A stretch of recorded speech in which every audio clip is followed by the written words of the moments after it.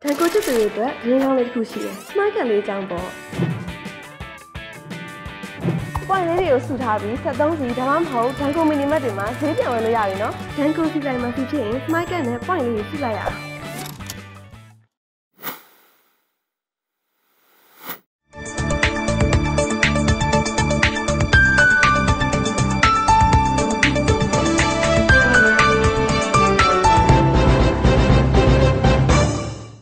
မင်္ဂလာပါရှင်။ဒစီမာ TV ရဲ့နောက်ဆုံးရသတင်းတွေကိုတင်ဆက်ပေးတော့မှာဖြစ်ပါတယ်။ရသေးတောင်မြို့နယ်ပင်လယ်ကမ်းခြေမှာတောင်ကျင်နေတဲ့လှည့်စည်းဒုက္ခသည်တွေကိုနေရက်ပြန်ပို့တော့မှာဖြစ်ပါတယ်။အစ္စလမ်ဘာသာဝင်တွေရဲ့ဝါကျွတ်အစ်နေမှာရန်ကုန်စေယုံကြီးတွင်အာဟာရဂျာနပြုလုပ်ခဲ့ပါတယ်။စားတဲ့သတင်းတွေပါဝင်နောက်ဆုံးရပြည်တွင်းသတင်းနဲ့နိုင်ငံတကာသတင်းတွေပါဝင်မှာဖြစ်ပါတယ်။ ရခိုင်ပြည်နယ်ရသေ့တောင်မြို့နယ်ပင်လယ်ကမ်းခြေမှာတောင်ကျနေတဲ့လှေစီးဒုက္ခသည်တွေကိုသူတို့ရဲ့မူလနေရက်တွေစီပြန်ပို့ပေးမယ်လို့သိရပါတယ်။သူတို့အားလုံးဟာမြန်မာနိုင်ငံကတော့မဟုတ်ပါဘူး။ရခိုင်ပြည်နယ်ကိုတွားရောက်သတင်းယူနေတဲ့ဇေယျမော်ကတင်ဆက်ပေးပါလိမ့်မယ်ရှင်။ရခိုင်ပြည်နယ်ရသေးတော်မြို့နယ်ပေလယ်ကမ်းခြေမှာတွေ့ရှိခဲ့တဲ့လှေစီးဒုက္ခသည်104ဦးထဲကမှမြန်မာနိုင်ငံမှာနေထိုင်ခဲ့တဲ့ဒုက္ခသည်62ဦးကိုမူလနေထိုင်ခဲ့တဲ့ကြေးရွာတွေကိုပြန်လည်ပို့ဆောင်ပေးသွားမယ်လို့ လူမှုဝန်ထမ်းကယ်ဆယ်ရေးနဲ့ပြန်လည်နေရာချထားရေးဝန်ကြီးဌာနကတာဝန်ရှိသူတို့ကဆိုပါတယ်။အဲ့ဒီလှေစီးဒုက္ခသည်104ဦးဟာဘင်္ဂလားဒေ့ရှ်နိုင်ငံကနေမလေးရှားနိုင်ငံကိုတွားရောက်ဖို့ထွက်ခွာလာတာဖြစ်တယ်လို့သူကဆိုပါတယ်။လှေစီးဒုက္ခသည်တွေကိုကိုရေးအချက်လက်တွေစစ်ဆေးနေပြီးတော့သူတို့အရင်မူလနေထိုင်ခဲ့တဲ့ကျေးရွာအုပ်ချုပ်ရေးမှုတွေကိုခေါ်ယူပြီးတော့စစ်စစ်အတည်ပြုပေးနေတာကိုဇွန်လ14ရက်နေ့ကငခုရပြည်လဲလက်ခရီးစကန်ကိုမြစည်းမတရေဌာနကတွားရောက်သတင်းရယူခဲ့စဉ်မှာတွေ့မြင်ခဲ့ရပါတယ်လူသီတော်မောင်းတော် တက်မှာနေခဲ့တဲ့လူတွေနောက်သူတို့ကိုယ်တိုင်လည်းဟိုဘက်ဘင်္ဂလားဒေ့ရှ်ဘက်ကဟလာကေဇေးစခန်းနေမှာလည်းနေခဲ့တဲ့လူတွေဆိုတာကိုသိရတယ်အဲ့တော့သူတို့ရဲ့မူလနေရာ UHRD ဟလာ Union Enterprise ပြည်တော်စုစီမံကိန်းအဲ့ဒီစီမံကိန်းအရဒီဘက်မှာနေခဲ့တဲ့လူတွေပဲသူတို့ကိုမေးတဲ့အခါကျတော့သူတို့ကဟလာဒီမှာပဲပြန်နေခြင်းပါတယ်ဆိုပြီးတော့မှပြောတယ် အဲဒါပေမဲ့ပြန်တည်ခြင်းနဲ့ဆိုပေမဲ့လည်းသူတို့ရဲ့ဆွေမျိုးတွေမိဘတွေဟလာမိသားစုတွေကဟိုဘက်မှာစခန်းတွေမှာကြံခဲ့တဲ့လူတွေလည်းရှိနေတယ်ရှိနေတဲ့အတွက်သူတို့မှာရှိနေတဲ့မိဆရာဆွေမျိုးရွာတွေမှာတည်ခြင်းပါတယ်ဆိုတဲ့အတွက်အခုကျွန်တော်တို့စီးရင်တွေပြုစုနေတယ်ချစ်သူကောင်လေးကနေအိမ်တော်ပြုတ်ဖို့လှမ်းခေါ်တဲ့အတွက်မလေးရှားနိုင်ငံကိုတွားရောက်မှာဖြစ်ပြီးတော့ဘင်္ဂလားဒေ့ရှ်နိုင်ငံရှော်မလာဖူဒုက္ခသည်စခန်းမှာနေထိုင်ခဲ့တယ်လို့လှစီဒုက္ခသည်တွေကအသက်18နှစ်အရွယ်မိန်းကလေးတဦးကဆိုပါတယ် အဲ့ဒီမိန်းကလေးဟာ2018ခုနှစ်ဩဂတ်လတိုက်ခိုက်မှုဖြစ်စဉ်တွေမဖြစ်ပွားခင်ကမောင်တော်မြို့နယ်မြင်းလွတ်ကျေးရွာမှာနေထိုင်ခဲ့သူဖြစ်ပါတယ်ပဋိပက္ခဖြစ်စဉ်တွေကြောင့်ဘင်္ဂလားဒေ့ရှ်နိုင်ငံဘက်ကိုမိသားစုတွေနဲ့အတူထွက်ပြေးတိမ်းရှောင်သွားခဲ့ရတာဖြစ်တယ်လို့သူကဆိုပါတယ် हम मारा पारो हाले टंगाले है नो शामला रो मादे म म हाले मादे बीर से लामा तो कैम बादी देने कैम ले လေစီတောက်ကတဲ့တွေကိုငခုရစကမ်းမှာယောက်ျားလေးနဲ့မိန်းကလေးအဆောင်နှစ်ဆောင်တီးတန့်ခွဲထားပြီးတော့နေထိုင်စေခဲ့တာကို တွေ့မြင်ခဲ့ရပါတယ်။အခန်းတစ်ခုမှာလူဘလောက်စီထားထားလဲဆိုတာကိုသိရှိဖို့ဝင်ရောက်ကြည့်ရှုခွင့်ကိုတောင်းခံခဲ့ပေမဲ့လည်းအစိုးရဘက်ကတော့ခွင့်ပြုခဲ့တာမရှိပါဘူး။အဲ့ဒီလေစီတောက်ကတဲ့တွေကိုမူလနေထိုင်ရာရက်ရွာနဲ့နေဆက်ရာဆွေမျိုးသားချင်းအိမ်တွေကိုပြန်လည်မပို့ဆောင်ခင်မှာ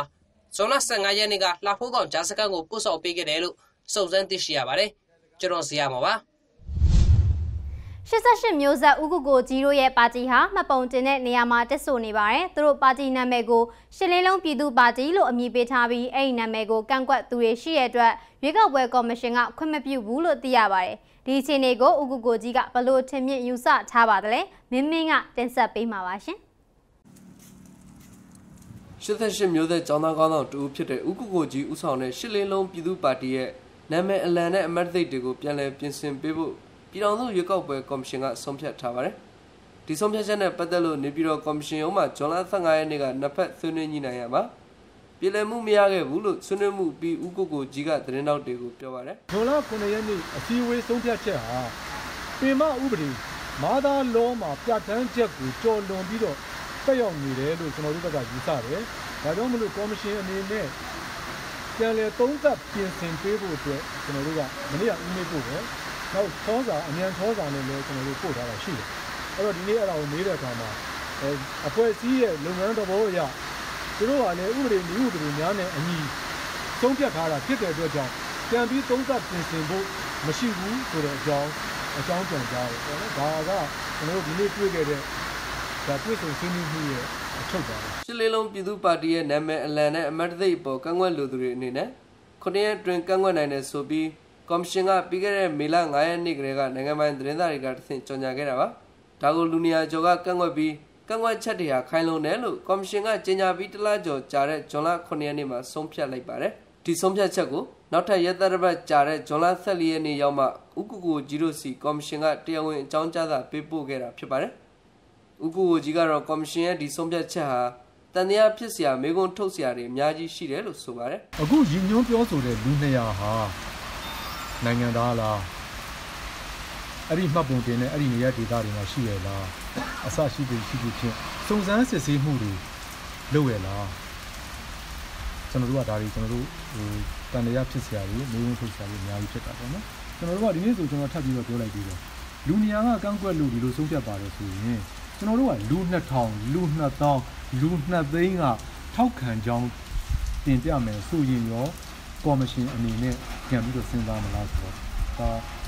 လုပ်ငန်းသဘောအရကတော့ကျွန်တော်တို့ကဆုံးဖြတ်ပြီးသားကိစ္စဒီဟာကစုံလီစီဝေးဆုံးဖြတ်ချက်ဖြစ်တဲ့အတွက်ကြောင့်ဒါကိုတော့ပြန်ပြီးတော့သုံးသပ်ဖို့ပြင်ဆင်မှုမရှိပါဘူးဒီလိုမျိုးပြန်ကြားဒါကြောင့်ကျွန်တော်ကတော့ဥပဒေရမျှတတဲ့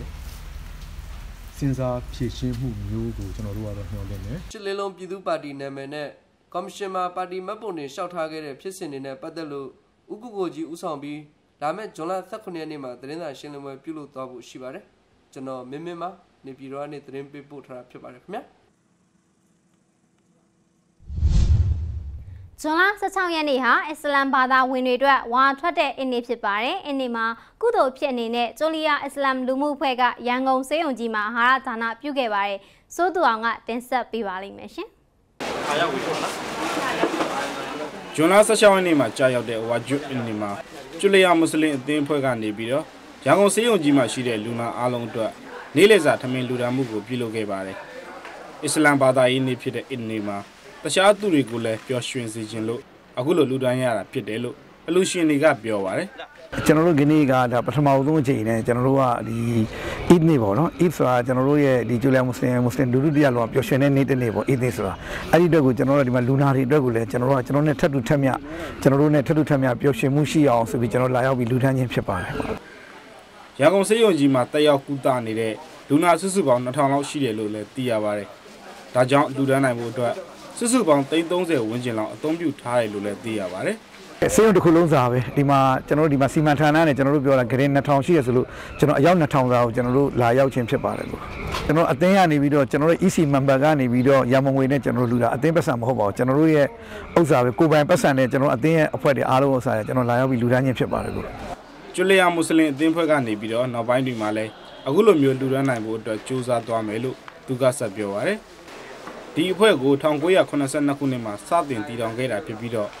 1994ခုနှစ်မှာတော့အခမဲ့စေးပေးကန်တစ်ခုကိုလည်းဘိုးစွန်ပတ်လမ်းမှာဖွင့်လှစ်နိုင်ခဲ့ပါတယ်ဒါအပြင်အတန်မိုးဝမ်းကြောင့်တင်တန်းတွေကိုလည်းဖွင့်လှစ်ထားတယ်လို့သိရပါတယ်အခုလိုမျိုးပရိုက်တာလုပ်ငန်းတွေလှုပ်ဆောင်နေရတာကဘာသာမရွေးလူမျိုးမရွေးပဲနဲ့မြန်မာနိုင်ငံအတွက်တစုံတစ်ခုဖြစ်ဖြစ်အကျိုးပြုစေခြင်းလို့ဖြစ်တယ်လို့လည်းဒုဥက္ကဋ္ဌဦးခင်မောင်ဝင်းကပြောဆိုသွားပါတယ်ကျွန်တော်ကတော့စိုးသူအောင်ပါ အနုပညာသတင်းတစ်ပုဒ်ကိုလည်းတင်ဆက်ပေးခြင်းပါသေးတယ်။ပို့အိုတိုင်းရင်သားကွန်ပျူရဲ့ Day Series မိတ်ဆက်ပွဲပါ။ဂျောင်းလူကတင်ဆက်ပေးမှာပါရှင်။လူငယ်မျက်နှာသက်တေးတန်ရှင်ခွန်ဖြူကလှမ်းမဲ့ခီးလို့နာမည်ပေးထားတဲ့ DCD တစ်ကိုစတင်မိတ်ဆက်လိုက်ပါတယ်။ဇွန်လ16ရက်နေ့နေ့လယ်ပိုင်းကရန်ကုန်မြို့ Orchid Hotel မှာစာနယ်ဇင်းမိတ်ဆက်ပွဲပြုလုပ်ခဲ့တာပါ။ဒီ DCD ဟာရှမ်းပြည်နယ်ကပအိုတိုင်းရင်းသားလေးခွန်ဖြူရဲ့ပထမဆုံး DCD တစ်ဖြစ်တယ်လို့2016ခုနှစ်ကတည်းကအချိန်ယူစူးစမ်းခဲ့ရတာဖြစ်တယ်လို့လည်းသိရပါတ ယ်။ဒီ day series မှာ series ကောင်းစဉ်ပေးထားတဲ့လှမ်းမဲ့ခီးဆိုတဲ့အမည်ဟာအခုထုတ်ဝေတဲ့ day series မှာပါဝင်တဲ့တခြင်းမဟုတ်ပေမဲ့နောက်ထပ်ထုတ်လုပ်မဲ့ day series မှာပါဝင်တဲ့တခြင်းကောင်းစဉ်ဖြစ်ပါတယ်။ဒီနာမည်လေးကိုကြိုက်တဲ့အတွက်အခုလိုဂီတချီလန်းအစမှာလှမ်းမဲ့ခီးဆိုတဲ့နာမည်လေးကို series ကောင်းစဉ်ပေးထားတာဖြစ်တယ်လို့တေးတန်ရှင်ခွန်ဖြူကပြောပါရယ်ဒီနာမည်ကကျွန်တော်လောဆယ်သချင်းတစ်ပုတ်တော့ရှိတယ်ဒီကျမတော့မပါဘူးဒီတိုက်တယ်သချင်းအဲ့ဒီနောက်ဒုတိယကျွန်တော်နောက်မှ ထပ်လုပ်မဲ့သချင်းပေါ့ဒီအဓိကတိုက်တယ်ကိုနေကြိုက်လို့ကြိုက်လို့ပေးဖြစ်တယ်ရော့တချင်းအပြင်းစားတွေပါဝင်တဲ့ဒီတေးစီးရီးထဲမှာညပြက်ရင်မဆိုင်နိုင်မင်းပျော်ပါစေအမောင်လူနောင်တမရခင်မနှက်ဖန်များစွာခြာနာချင်းထိုက်တန်ရဲ့လားနင်သုံးချတဲ့စီးချေပါစတဲ့တေးသချင်းဆယ်ဖို့ပါဝင်ပါတယ်ဒီတေးသချင်းတွေကိုတေးတန်ရှင်ခွန်ဖြူပါဝင်တေးရီငဲမောင်နဲ့ခွန်မျိုးတို့ကရေးသားထားတယ်လို့သိရပါတယ် ဒီကနေ့ဂီတလောကရဲ့ဈေးကွက်အနေထားအရမျက်နှာသက်ဆိုတော်တွေအတွက်စိန်ခေါ်မှုတွေအများကြီးရှိနေပေမဲ့ဂီတကိုမျက်နှိုးရွတ်သွတ်မှုတစ်ခုတည်းနဲ့ဒီတေးစီရီကိုငွေရေးကြေးခက်ခဲကြကစူးစမ်းခဲ့ရတာဖြစ်တယ်လို့ကွန်ပျူကပြောပါတယ်အဓိကကတော့ကျွန်တော်ပြောလို့ပဲအရာစိတ်စိတ်ရင်းပါတော့အရင်လှုပ်ချင်တဲ့အလုပ်အဲ့ဒီအဲ့ဒါပဲကိုယ့်အပြင်ပြန်ပြီးတော့အားရင်နေပေးတာပါလို့အာကျွန်တော်အသက်အနေနဲ့အားပေးစေချင်တယ်အရင်ကစူးစမ်းအထောက်မှုတွေပေါ့ အားထုတ်စေချင်တယ်တချင်းတွေကလည်းအသက်တွေများပါဒီတန်းနိုင်ဆုံးတော့ဟိုတစ်အစ်ပဲဖြစ်အောင်ရေးတာဆိုတာဒီတေးစီရီကို Bobo Music Production ကနေလာမယ့်ဇွန်လ22ရက်နေ့မှာစတင်ဖြန့်ချိသွားမှာဖြစ်တယ်လို့ online ကနေလည်းအခမဲ့ဖြန့်ချိသွားမှာဖြစ်တယ်လို့သိရပါတယ်။အားကစားသတင်းတစ်ပုဒ်ကိုဆက်လက်တင်ဆက်ပေးကြပါမယ်။အီရန်တို့ဟာသူတို့ရဲ့ကမ္ဘာဖလားအဖွင့်ပွဲဖြစ်တဲ့မော်ရိုကိုနဲ့ပွဲကိုကြည့်ရဖို့ရွေးချယ်စရာအနှဲငယ်သာရှိခဲ့ပါတယ်။ ဘားဆိုင်ရုပ်ရှင်ရုံနဲ့ကော်ဖီဆိုင်နှဲငယ်ကသာကြည့်ခဲ့ကြရပါတယ်။ဒါပေမဲ့မချင်မှတ်ပဲနိုင်ပွဲရလိုက်ပြီးတဲ့နောက်မှာတော့တီရန်မြို့ရဲ့လမ်းမတွေပေါ်မှာအလွန်ကျူးအောင်ပွဲခံမှုတွေနဲ့ပြည့်နှက်သွားခဲ့ပါတယ်။အစောပိုင်းမှာအာနာပိုင်တွေကဘောလုံးပွဲကိုပန်းချန်တွေနဲ့တီဟီရန်ရဲ့အကြီးဆုံးဘောလုံးကွင်းမှာရုပ်သံမျက်နှာပြင်ကြီးတွေနဲ့ပြသမယ်လို့ကြေညာထားခဲ့ရာကအကြောင်းပြချက်မရှိဘဲအစီအစဉ်ဖြတ်သိမ်းသွားတယ်လို့အီရန်ပြည်သက်တွေရဲ့စိတ်အားချက်တံမှုကိုထိခိုက်ခဲ့ရပါသေးတယ်။ လွတ်လပ်မှုလို့အမည်ရတဲ့ဘောလုံးကွင်းကြီးထဲမှာအစ္စလာမစ်ပြုပြင်ပြောင်းလဲရေးနောက်ပိုင်းပထမဆုံးအကြိမ်ဖြစ်အားကစားပြိုင်ပွဲတစ်ပွဲကိုအမျိုးသမီးရောအမျိုးသားပါအတူတကွတက်ရောက်ကြည့်ရှုခွင့်ရတော့မယ်ဆိုပြီးပြည်သက်တွေကစိတ်လှုပ်ရှားခဲ့ကြတာပါ။ဒါပေမဲ့အာနာပိုင်တွေကအစီအစဉ်ကိုဖျက်သိမ်းခဲ့ပါတယ်။အီရန်အသင်းဟာထပ်ဆောင်ချိန်ပုံမှာမော်ရိုကိုတိုက်စစ်မှုဘူဟာဂျတ်ကိုဂိုးကိုသွင်းခဲ့တဲ့ဂိုးကြောင့်တကိုးကိုမရှိနဲ့အနိုင်ရခဲ့တာပါ။ ကမ္ဘာဖလားပြိုင်ပွဲမှာအီရန်အသင်းနောက်ဆုံးနိုင်ပွဲရထားတာကတော့1998ခုနှစ်ပြိုင်ပွဲတုန်းကဖြစ်ပြီးအုပ်စုအဆင့်မှာတပွဲရဲသောနိုင်ပွဲဖြစ်အမေရိကန်ကို2ဂိုး1ဂိုးနဲ့အနိုင်ရခဲ့တာဖြစ်ပါတယ်။ဂျွန်15ရက်ကကစားခဲ့တဲ့ကမ္ဘာဖလားပွဲစဉ်တွေမှာအီရန်ကမော်ရိုကိုအသင်းကိုတကိုးဂိုးမရှိဥရုဂွေးကအီဂျစ်ကိုတကိုးဂိုးမရှိနဲ့အနိုင်ရခဲ့ပြီးနာမည်ကြီးပေါ်တူဂီစပိန်တို့ကတော့တစ်ဖက်3ဂိုးစီနဲ့တည်ရကြခဲ့ပါတယ်ရှင်။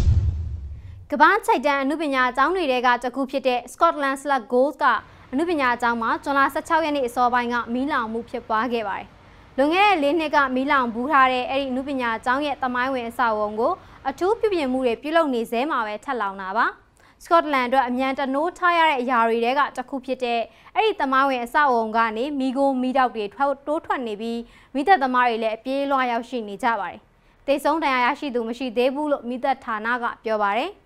မြို့လေကတော့မိတောက်ကိုတွင်းမြင်နိုင်လောက်အောင်ပြင်းထန်ပါတယ်။ဌာနေဒေသခံတွေကိုနေအိမ်တွေကနေပြောင်းရွှေ့ပေးထားကြောင်းဒေသခံတွေကပြောပါတယ်။ဒီလောင်ကျွမ်းမှုဟာတမိုင်းဝင်အဆောက်အုံဆွဆိုးဝါးပျက်စီးခဲ့ရတဲ့2014မေလအတွင်းကလောင်ကျွမ်းခဲ့တာချက်ပုံမဆိုးဝါးတယ်လို့ဒေသခံတွေကပြောနေကြပါတယ်ရှင်။ဗဟိုအမေရိကကနေတရားမဝင်ရွှေ့ပြောင်းဝင်ရောက်လာတဲ့မိသားစုတွေစီးဝင်နေခြင်းကိုရပ်တန့်ဖို့အမေရိကန်နိုင်ငံဟာအိမ်တွင်းအကြမ်းဖက်ခံရတာတွေ ဂိုင်းဖွဲ့အကြမ်းဖက်ခံရသူတွေနိုင်ငံရေးခိုလုံခွင့်တောင်းလာခြင်းကိုခွင့်ပြုပေးတော့မှာမဟုတ်ဘူးလို့ရှင်းနေချုပ် Jeff Sessions ကပြောပါတယ်။အယ်ဆာဗာဂျိုကလင်ယောက်ကြားရဲ့နှစ်များစွာတာမယာပြုကျင့်ခံအရိုက်နှက်ခံခဲ့ရတဲ့အမည်မဖော်လိုသူအမျိုးသမီးတဦးရဲ့နိုင်ငံရေးခိုလုံခွင့်တောင်းခံခြင်းအမှုကိစ္စနဲ့ပတ်သက်ပြီးခုလိုဆုံးဖြတ်ချက်ချလာခဲ့ခြင်းဖြစ်ပါတယ်။ဒီလိုကန်ဆုံးမှုအားလုံးအတွက်ကြောင့်တော့နိုင်ငံရေးခိုလုံခွင့်ပေးနိုင်ဖို့ဆိုတာမဖြစ်နိုင်ပါဘူးလို့ Jeff Sessions ကပြောပါတယ်။ လွန်ကဲစွာကြီးထွားတဲ့ဂိုင်းဖွဲ့အကြမ်းဖက်မှုကြောင့်မဟုတ်ဘဲနှိပ်စက်ညှဉ်းပန်းခံအိမ်အောင်တဲ့မျိုးသမီးတွေကိုနိုင်ငံရေးခိုလုံခွင့်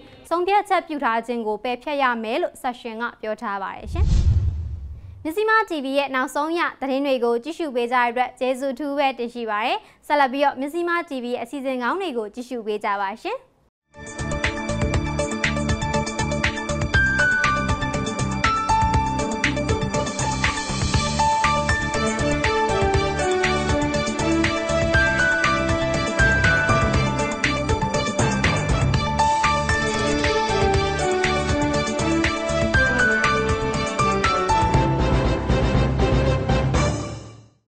နိုင်ငံတော်အစိုးရရဲ့ဆောင်ရွက်ချက်တွေနဲ့ပတ်သက်ပြီးမြစည်းမမီဒီယာကတင်ဆက်နေတဲ့နေ့စဉ်သတင်းတွေကို SMS ကနေဖတ်ရှုနိုင်ပါပြီ